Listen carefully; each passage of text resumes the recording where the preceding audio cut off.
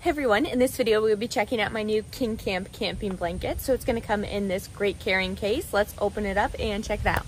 So your carrying case is actually a pocket that is attached to your blanket so you don't have to worry about losing it once you've opened your blanket. And once you've opened your blanket, you can continue to use the carrying case as a storage pocket.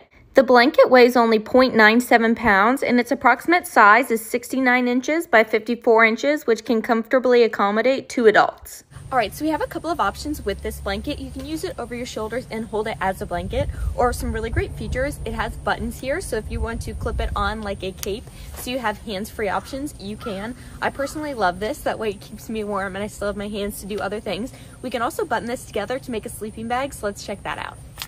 This down alternative blanket is filled with hypoallergenic King Loft down alternative, which is a state-of-the-art fiber filled that has the feel of authentic goose and duck down without the feathers, poking, or allergies. And the fluffiness can reach 620 fill power, which is warm enough and cozy enough to give you a nice comfort sleep or keep you warm during the day and your activities.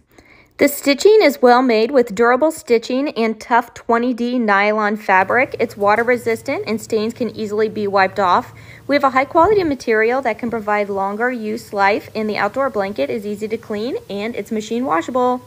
Now this doesn't just have to be used outside. You can definitely pop it on and walk around your house to stay warm as well. If you're like me and always cold, I will definitely be using it inside. And another great feature is on the first try, you can definitely get this rolled up and put back in its carrying case.